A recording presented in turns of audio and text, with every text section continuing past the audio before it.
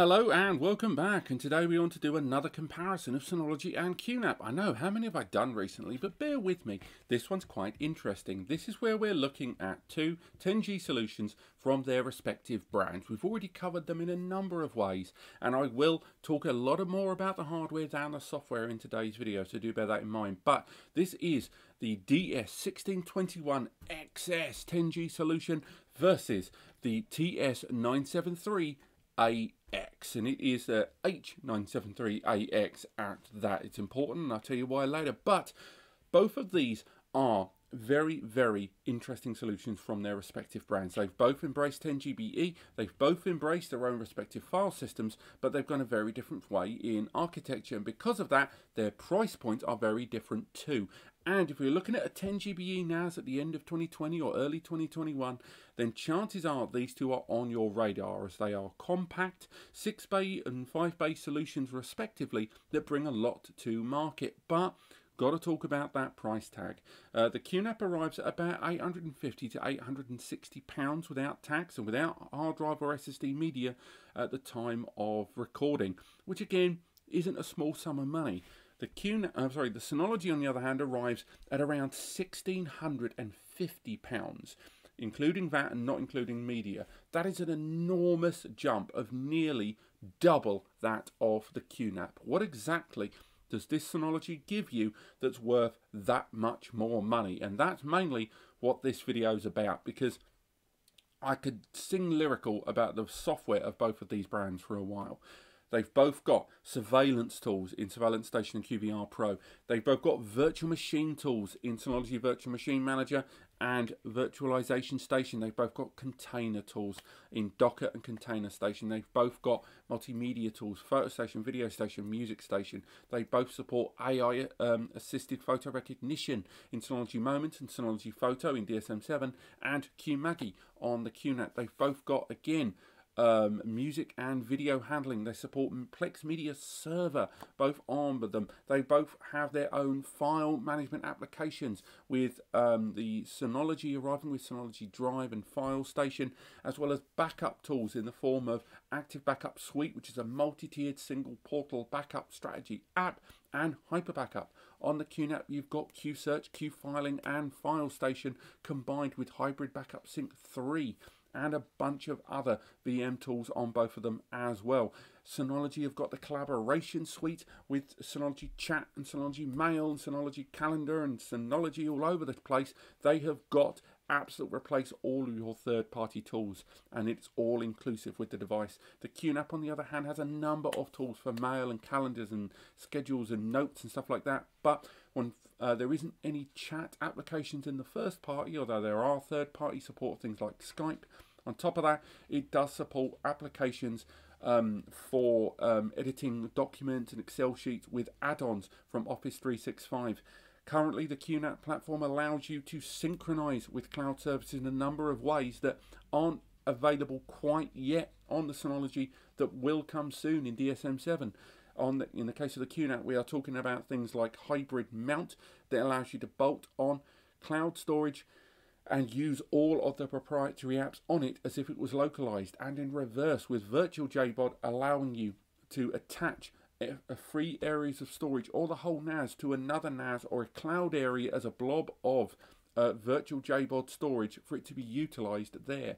These are things that are coming from Synology in their likes of Hybrid Share and more.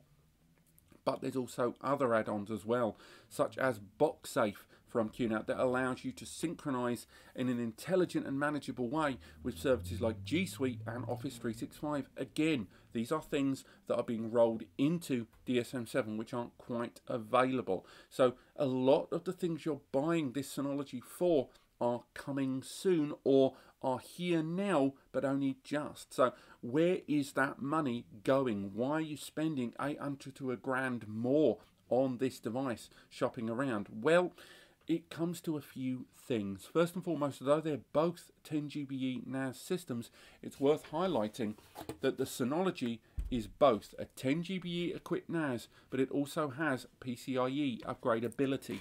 The QNAP, on the other hand, has a 10 GBE port, but no room to upgrade an additional port. And the PCIe Gen 3 x 8 on this Synology allows you to utilize stuff like um, increased dual port 10G cards, 20 GBE cards, 40 GBE cards, although you're never going to saturate that on a on a 6-bay NAS like this.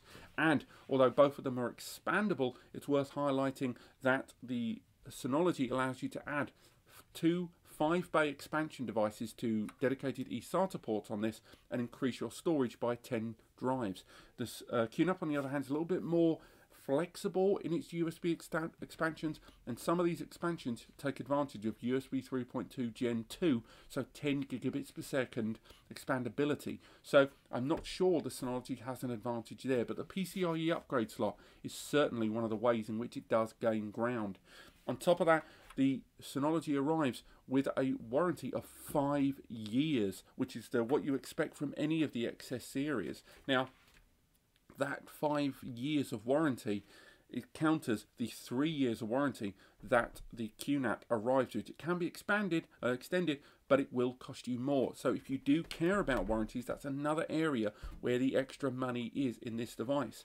It's also worth highlighting that they both arrive by default with 8 gig of memory, both of them with DDR4 SODIMM memory, but it's ECC memory there on the Synology.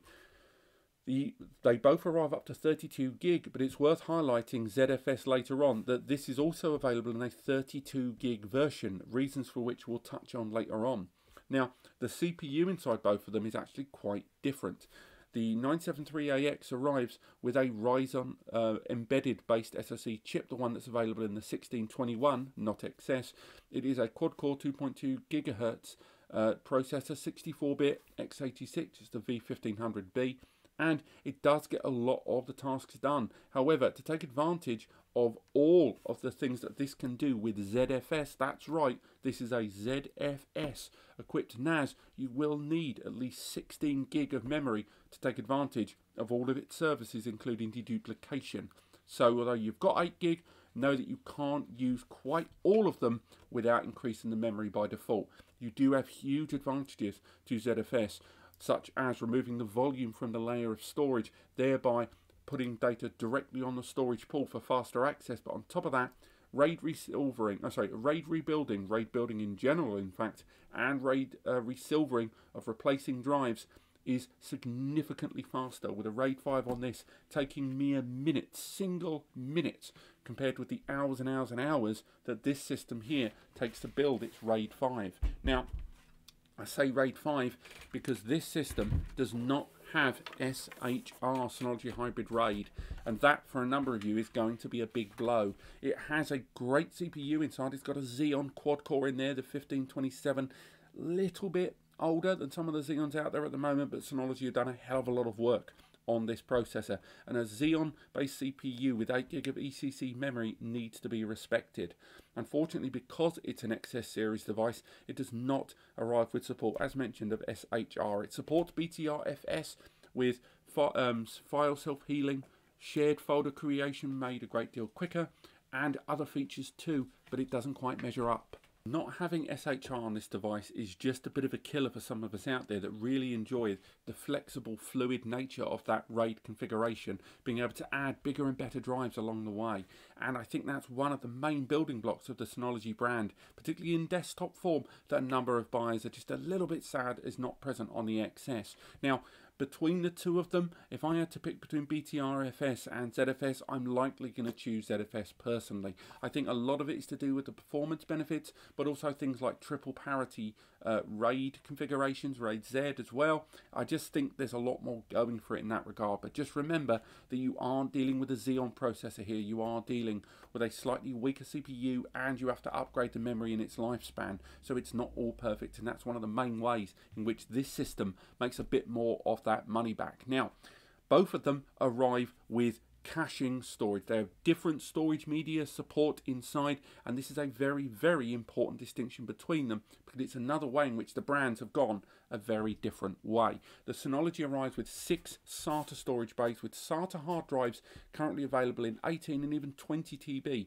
from Seagate Ironwolf right now. Um, and on top of that, these bays also support 2.5 inch SATA SSD. So again, that's your Seagate Ironwolfs again, going up to 4 TB currently, or 3.6 or 3.72 terabytes. Um, on top of that, inside there is two NVMe M2 SSD base used for caching, so you can utilize super fast 4000 megabytes per second NVMe's and then bestow the high IOPS and high performance onto the slower uh, but more affordable and larger capacity hard drives and improve the internal performance that you can enjoy with VMs and databases internally, but of course with 10 GBE and more out the rear of it. Now, on the QNAP, we have five SATA bays here at the top, so one less SATA bay, although all of them do support, again, Seagate Ironwolf there at up to 18 and 20 TB in NAS hard drives. But what's interesting is it also has these four SSD bays at the base. These top two are NVMe U2 SSD bays. These two bays here support the larger, just as fast NVMe SSDs, along with two SATA SSD bays there on the base as well. That means you have a triple tier storage system with SATA SSD, U2 NVMe SSD, and traditional SATA hard drive. But what's really interesting is you can use not only all four of these just for SATA SSDs if you want, and then upgrade to U2 NVMe later because the port works for both. But on top of that, you can use all three tiers as raw storage. You can create storage pools on the SSDs dedicated and therefore have tiers of super fast access, which a number of you are going to be swayed with straight off the bat. Synology kind of I don't like the idea they only let you use those NVMe's for caching, and I think a lot of you agree with me because it's one thing to have a lot of their systems only have 1 GBE on the rear, which I know annoys a number of you with the likes of QNAP and, and on this device, not only providing 10G but also 2.5 GBE at times as well. But those M2 NVMe's being locked for caching only can be a real pain when you've got 10G systems like this. It's a real shame because I love this box. The 1621XS is a real groundbreaker for me and it tells me exactly that Synology still take this stuff seriously with a middle ground solution that gives great internal and great external capabilities, but they are lagging a bit on that network interface side of things, I believe, and M2's only being used for caching, particularly as a brand that have brought their own range of SATA and NVMe SSDs to the table. I think that's a tiny bit short-sighted, but we'll have to see. Um, ultimately, between them, the what you get with the Synology is a smoother and far more user-friendly user interface.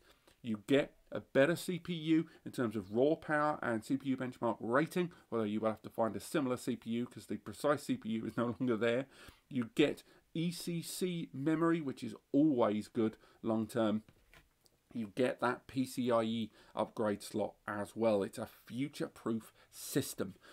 But if you're looking at today, and this isn't just today because it's still quite future proof, it's just less upgradable, the 973AX is still a solid affordable ZFS powered solution with NVMe U2 bays there on the front, a compact nature and 10 GBE and 2.5 GBE on the back as well. I haven't even touched on design, which is always going to be your own choice between the two systems about which one deserves your money. And moreover, it's worth highlighting that the QNAP here has a smaller PSU at 120 watts, whilst in utilization with the Synology at a 250 watt PSU. It needs it for the PCIe, the increased CPU. It needs it to just have more to keep it moving. So between the two of them, it's up to you which one you pick because I know deep, deep, deep down, if I had the money, I'd probably err towards the ZFS system if I am on a tighter budget. I think the Synology solution